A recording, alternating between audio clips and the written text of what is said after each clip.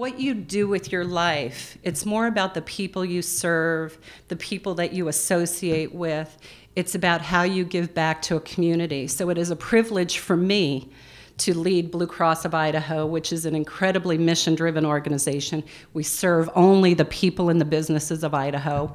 We will always only serve the people and the businesses of Idaho.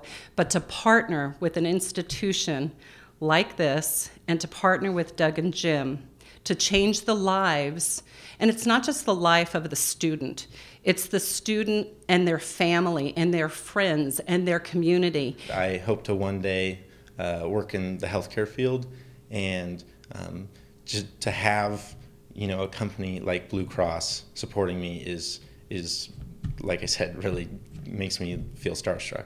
Um, it's a once in a lifetime opportunity, and I am tremendously grateful. It's a proud moment.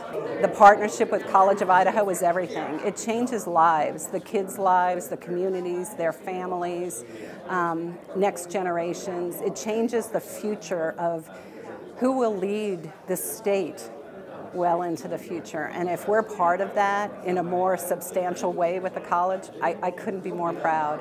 We've been together for 73 years. We're not going anywhere. We're here well into the future. Let's just commit to 10 years.